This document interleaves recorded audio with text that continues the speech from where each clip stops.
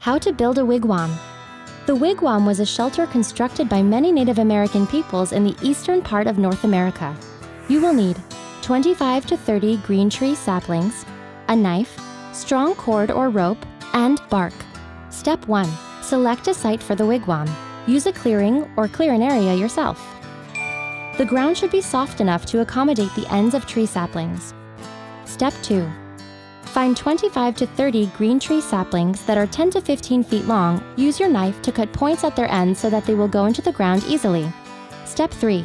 Scratch out a 10 foot circle on the ground and place the pointed ends of the bent saplings into the ground along the circle. Situate the saplings so that they make uniform arches all bowed outward. Step 4. Wrap a second set of saplings around the structure as a girdle for support. Step 5. Tie the two sets of saplings together with lengths of cord, leaving an opening for the entrance.